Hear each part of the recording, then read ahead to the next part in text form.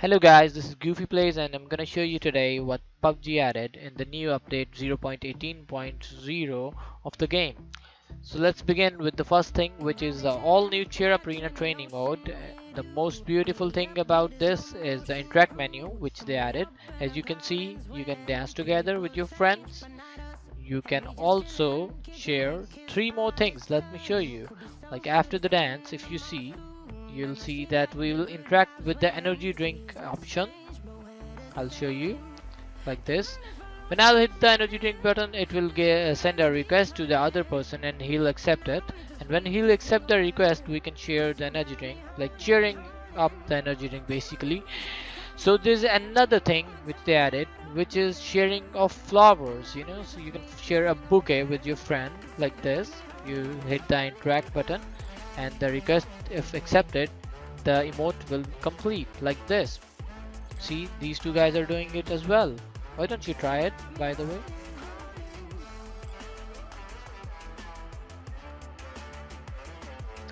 They've also added this barbecue table for your friends to enjoy a fresh chicken dinner just like the way you can see. You know a chicken is on the spoke and all of them are sitting around and having fun Another thing they've added is what we already have in PUBG PC which is the Win94 with built-in 2.7x scope which is quite good for mid-range. Another very interesting feature is this new competitive training mode in which players compete each other for points and then their names are displayed on the leaderboard according to the points they've gained. I'll show you how. See. You can see my name on the second position. And this is the biggest thing which is the Mad Miramar which includes a big sandstorm being displayed in the sky. But the storm doesn't actually move it's just for display you know uh, to make it look more realistic. And I kind of like it but uh, it, it should have been better if it would have moved like with the play zone play zone or something like that. But uh, I, I would give it like 8 out of 10 they have tried to make it very realistic as if you shoot it you can see a special effect in the storm. Two new landing spots are also added.